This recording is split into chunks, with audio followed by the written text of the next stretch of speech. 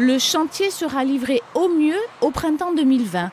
Pas de date précise, c'est une estimation, tout comme le coût du déménagement, autour de 3,5 millions et demi d'euros. Pour l'équipement, il faudra obtenir un prêt relais de 10 millions, un prêt en attendant de vendre le site de la Miséricorde.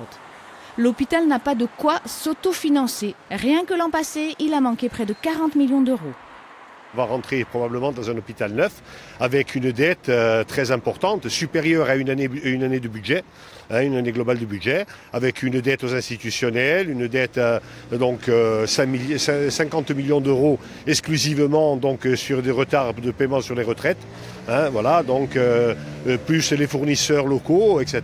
Donc ça fait qu'à un moment donné, c'est un problème qu'il va falloir purger.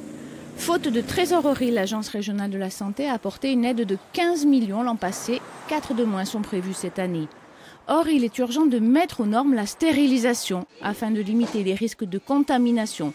Tel est l'avis, après un contrôle la semaine passée, de la Haute Autorité de Santé.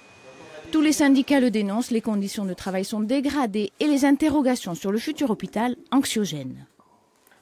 Tant que le niveau médical n'est pas finalisé, on ne pourra pas parler de réorganisation.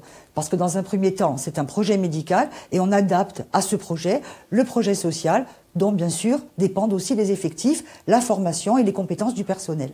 Le STC relaie la même inquiétude.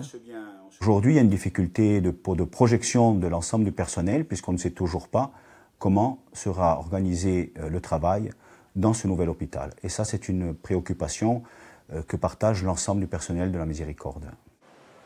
Les 1700 employés devront tenir encore un an. La direction de l'établissement de l'hôpital n'a pas accepté de nous répondre aujourd'hui.